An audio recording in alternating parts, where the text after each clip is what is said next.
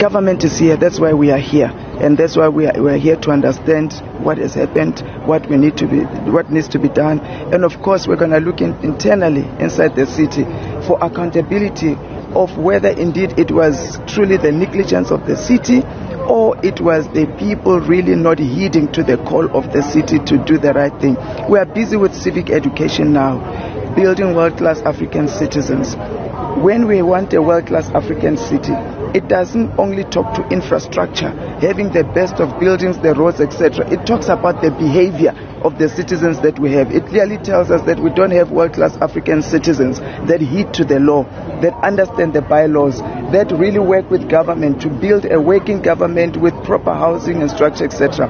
I'm not condoning government that we may be slow sometimes in allocating houses in some of our processes, but that's not a reason to be uh, lawless because things like this sometimes happen where tragedy that could have been prevented, I think, would happen because the citizens are not willing to understand and, and, and work with us in upholding the laws and the bylaws of the city, in understanding what is safe, what is not safe.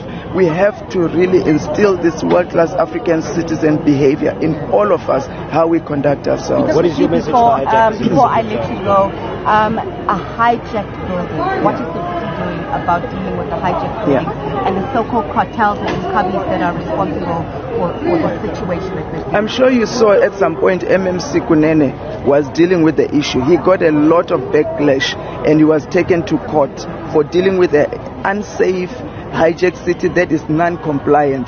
That's what I'm saying. There are some certain NGOs that are hell bent on preventing the city from dealing with it. It, it needs decisive action and there will be casualties, but let there be no death.